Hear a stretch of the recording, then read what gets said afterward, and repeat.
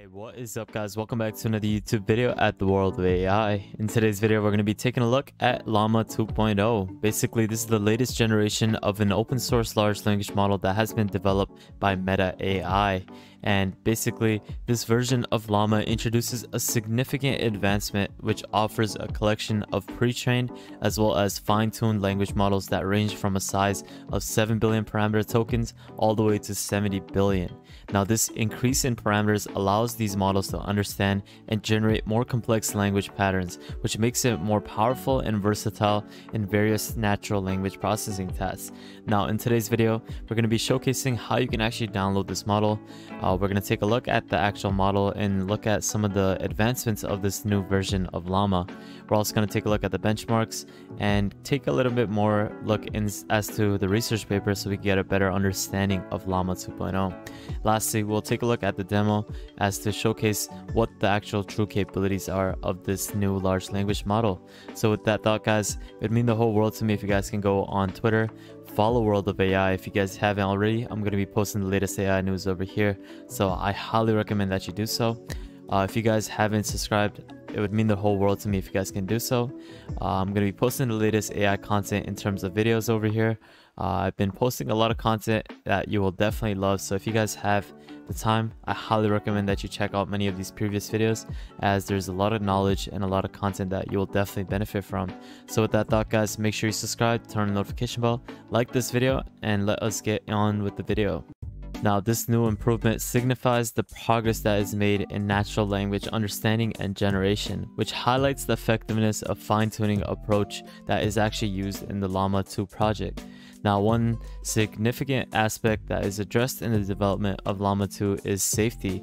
They've emphasized this a lot, and this is something that you can take a look at in the research paper as you'll get a better idea of this.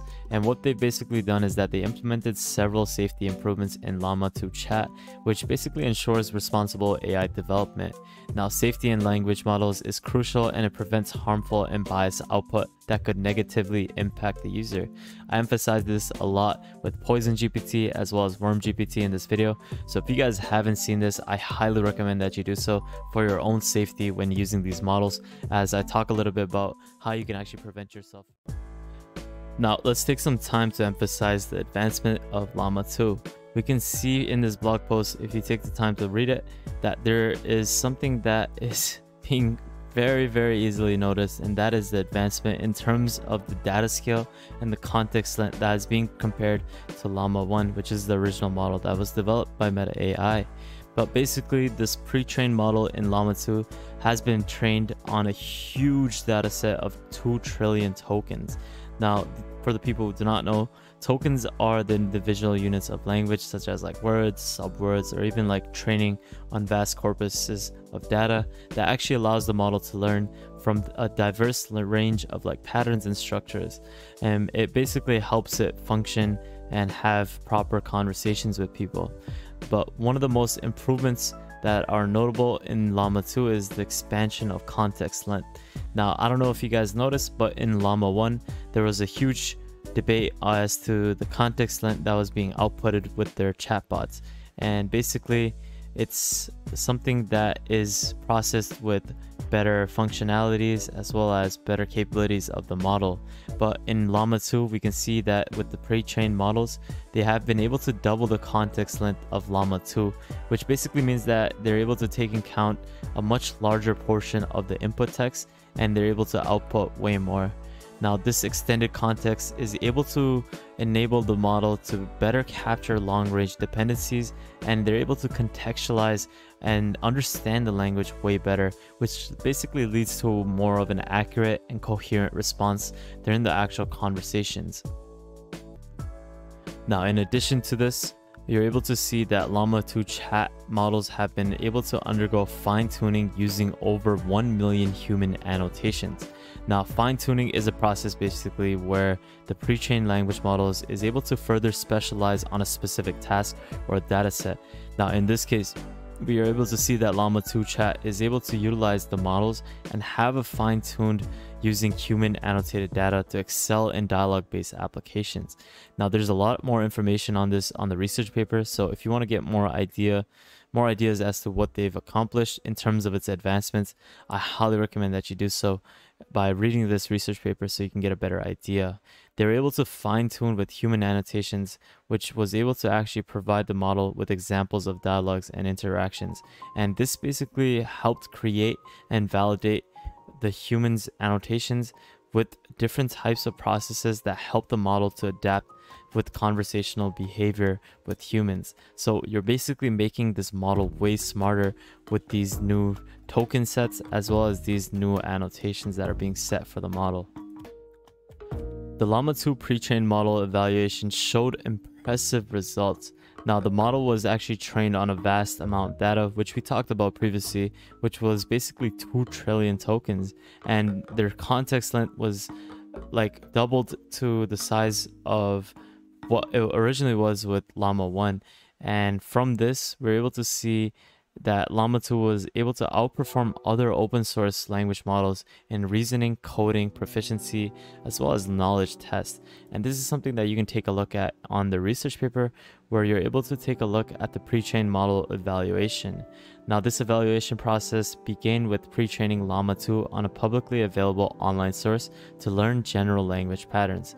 Then it basically used a dialogue focused version called Llama 2 Chat which was fine-tuned using supervised methods where human annotated data helped the model in excelling with dialogue tasks.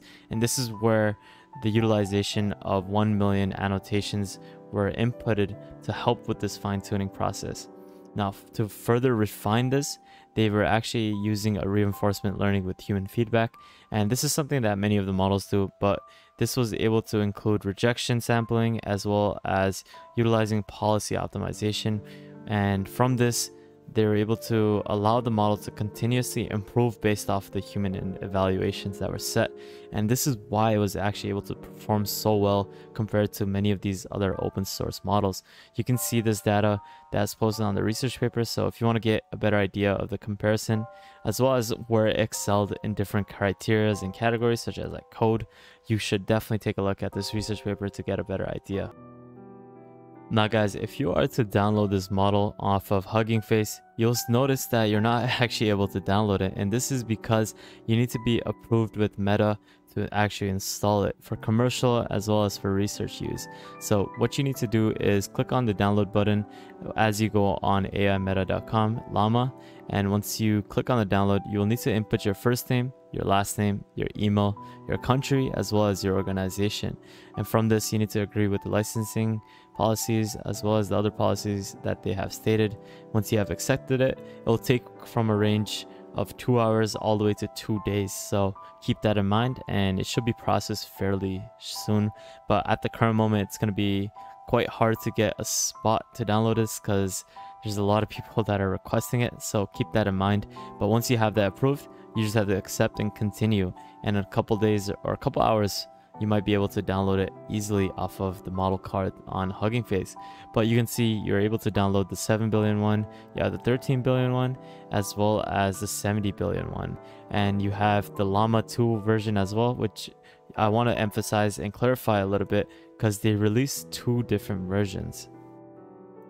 Firstly, they released Llama 2, which is the updated version of Llama 1, and it's basically a new mix of publicly available data and secondly, they released Llama 2 Chat, which is the fine-tuned version of Llama 2, and it basically has been optimized for dialogue use cases, which we talked about previously, where it could be used for a chatbot or for basic conversation systems. Now, if you want to get a better idea of this, I highly recommend that you check out Llama 2's demo, which I'll leave a link in the description below so you can get a better idea of it. Basically, I asked it write a poem in 50 words and it did it very very fast and I was able to get this amazing poem. Then I asked it what is the difference between Llama versus Llama 2 by Meta and we were able to get a list of key differences between the two aspects.